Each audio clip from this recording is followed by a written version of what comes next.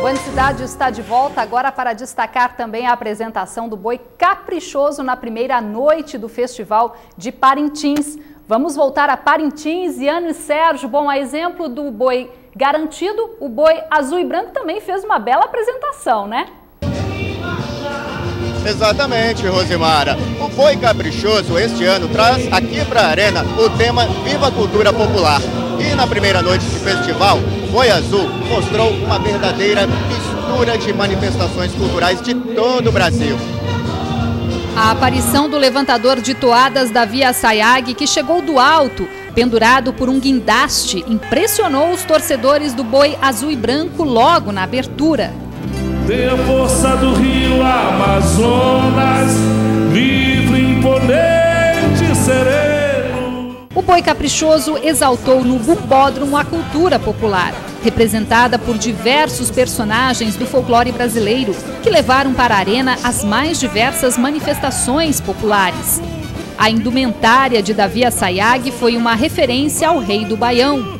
A cultura popular Viva o boi de Parintins Viva o folclore brasileiro Caprichoso é raiz e boi bombar o ano inteiro A sinhazinha do boi, Tainá Valente, também surpreendeu ao entrar na arena vestida como uma boneca de pano.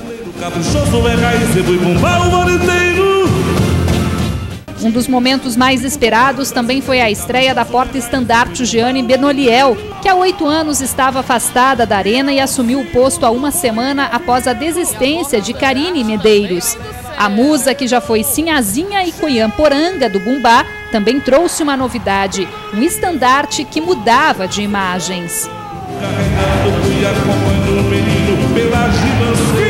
O Curupira foi o grande destaque da lenda amazônica.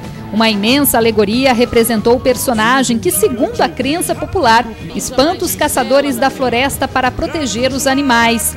E foi dessa alegoria que saiu a Cunhaporanga do caprichoso Maria Azedo. Sou do mato, sou bicho animal, eu sou a lenda. A figura típica regional do boi foi representada pelo farinheiro. E o ritual tribal impressionou pela coreografia de passos precisos e sincronizados.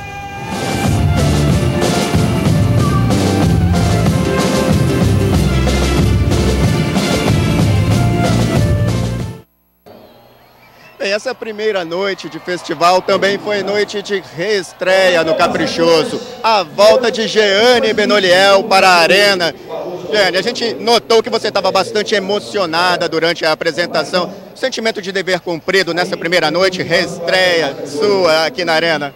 Primeiramente, boa noite. Voltar a sentir toda a energia da torcida é realmente emocionante. Depois de oito anos, volto pro Caprichoso, com essa alegria, com esse entusiasmo, realmente é de emocionar. E eu fiquei realmente muito emocionada. E hoje é uma apresentação muito melhor. Reestreia, aquele gelinho, aquele frio na barriga de reestreia já foi superado e agora é a gente cada vez melhor. Agora você falou ontem que foi uma convocação, foi às pressas, faltando poucos dias para o início do festival. Como é que você recebeu essa notícia? Faltava apenas uma semana para o festival, quando a diretoria do Caprichoso foi surpreendida com um pedido de saída da ex-Sport Standard. O Caprichoso ficou meio desestabilizado. Foi quando a torcida, via redes sociais, é, convocaram meu nome, a diretoria me convidou. Eu não poderia deixar o meu boi na mão e eu vim na coragem, no improviso, na alegria, um sentimento de amor ao caprichoso me ajudando a conduzir o pavilhão. Boa sorte para você. Obrigada. Boa noite. Bem, a transmissão do festival continua logo mais a partir das 8 e meia da noite para todo o Brasil. 8 e meia da noite, horário de Manaus, 9 e meia da noite, horário Brasília. Rosimara. Tá certo, Iano. Muito boa sorte aí, bom trabalho para você. O Band Cidade fica por aqui e volta na segunda-feira destacando então os melhores momentos do festival desta noite e também de amanhã. Para rever esta edição, acesse band.com.br barra Amazonas. Também pela internet você pode ajudar a fazer o Band Cidade. Deixe sua sugestão de pauta no Facebook, o endereço é facebook.com barra. Ou então siga o nosso jornalismo pelo Twitter, o endereço é twitter.com barra Amazonas. Fique agora com os destaques do Jornal da Band neste sábado. Uma boa noite, obrigada pela sua audiência, um ótimo domingo, até segunda.